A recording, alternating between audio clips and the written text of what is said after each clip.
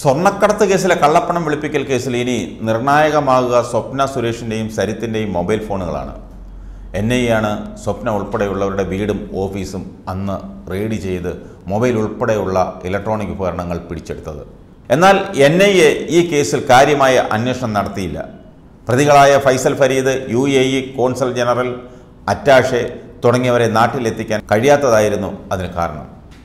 മൊബൈലുകൾ ഇപ്പോൾ കോടതിയുടെ കസ്റ്റഡിയിലാണ്. മുഖ്യമന്ത്രിക്കെതിരായ സ്വപ്നയുടെ ആരോപണങ്ങൾ തെളിയിക്കാൻ മൊബൈൽ ഫോൺ പരിശോധന ആവശ്യമാണ്. അതിനാൽ ഇവ സൈബർ ഫോറൻസിക് പരിശോധനയ്ക്കായി വിട്ടുകിട്ടാൻ ഇ ഡി കോടതിയെ സമീപിക്കും. മുഖ്യമന്ത്രിക്കെതിരായ അന്വേഷണത്തിന് പച്ചക്കൊടി നൽകേണ്ടത് ഇ ഡിയുടെ കേന്ദ്ര ഡയറക്ടറേറ്റാണ്. അതിനായി സ്വപ്നയുടെ രഹസ്യമൊഴിയുടെ പകർപ്പ് അവിടേക്ക് അയച്ചിട്ടുണ്ട്. കേസിലെ പ്രധാന പ്രതികളിൽ ഒരാളായ സ്വപ്നയുടെ മൊഴിയുടെ വിശ്വാസ്യത വിലയിരുത്തേണ്ടി വരും. ആരെങ്കിലും എന്തെങ്കിലും പറഞ്ഞാൽ അന്വേഷണമായി പുറപ്പെടുന്ന ഏജൻസികളല്ല ഇ ഡിയും എൻ ഒക്കെ. അവരൊക്കെ ശക്തമായ തെളിവുകളുണ്ടെങ്കിൽ മാത്രമേ ഏത് കേസും അന്വേഷിക്കാൻ ഇറങ്ങൂ ശക്തമായ തെളിവില്ലാതെ മുഖ്യമന്ത്രിക്കെതിരായി നടപടിയെടുക്കുന്നത് തിരിച്ചടിയാകുമെന്ന ആശങ്കയും ഇ ഡിക്കുണ്ട്. അതിനാലാണ് സ്വപ്നയുടെയും സരിത്തിന്റെയും മൊബൈൽ പരിശോധിക്കാനുള്ള നീക്കം നടത്തുന്നത്.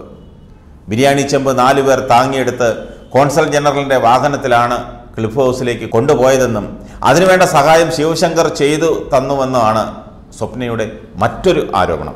ബിരിയാണി ചെമ്പ് എത്തുന്നതുവരെ കോൺസൽ ജനറൽ അസ്വസ്ഥനായിരുന്നുവെന്നും ഇത് സംബന്ധിച്ച് വാട്സാപ്പ് ചാറ്റ് വിവരങ്ങൾ കോടതിയുടെ കസ്റ്റഡിയിലുള്ള ഫോണിലുണ്ടെന്നുമാണ് സ്വപ്ന സത്യവാങ്മൂലം കോടതിയിൽ അറിയിച്ചിരിക്കുന്നത്.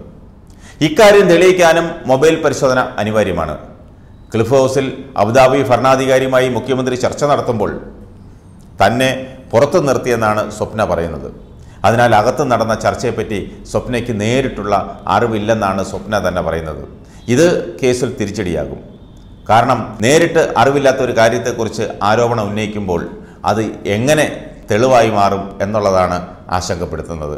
ഒരു കാരണവശാലും അത് തെളിവായി എടുക്കാനോ അല്ലെങ്കിൽ അതിനെക്കുറിച്ച് അന്വേഷിക്കാനോ ഏജൻസികൾക്കൊന്നും പറ്റില്ല എന്നുള്ളതാണ് സത്യാവസ്ഥ. താനിപ്പോൾ വെളിപ്പെടുത്തിയ വിവരങ്ങളെല്ലാം നേരത്തെ കസ്റ്റംസിനെ അറിയിച്ചിരുന്നെന്നും അവർ അന്വേഷിച്ചില്ലെന്നുമാണ് സ്വപ്ന ആരോപിക്കുന്നത്. എന്നാൽ ഉന്നത രാഷ്ട്രീയക്കാർക്കെതിരെ നടപടിയെടുക്കാൻ പ്രതിയായ സ്വപ്നയുടെ മൊഴി മാത്രം പോരാ.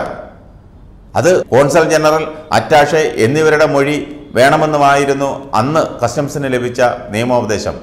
അതുകൊണ്ട് മാത്രമാണ് കസ്റ്റംസും എൻ ഐയും ആ വഴിക്ക് നീങ്ങാഞ്ഞത്. ഇത് ആർക്കും ചിന്തിക്കാവുന്ന ഒരു കാര്യമേ ഉള്ളൂ. ഏതായാലും സ്വപ്നയുടെ ഈ മൊഴിയുടെ അടിസ്ഥാനത്തിൽ അതായത് ഒരു കേസിലെ പ്രതി പറയുന്ന മൊഴിക്കനുസരിച്ച് ഇവിടെ കിടന്ന് കോലാഹലങ്ങൾ ഉണ്ടാക്കുന്ന പ്രതിപക്ഷങ്ങൾ അതായത് കോൺഗ്രസും ബി ജെ പിയും ഒന്ന് ഇരുത്തി ആലോചിക്കുന്നത് നല്ലതാണ് ഇന്നലെ വി ഡി സതീശൻ പറഞ്ഞു കഴിഞ്ഞു സ്വപ്നയുടെ വെളിപ്പെടുത്തലുകൾക്ക് എത്രമാത്രം സത്യാവസ്ഥയുണ്ടെന്ന്.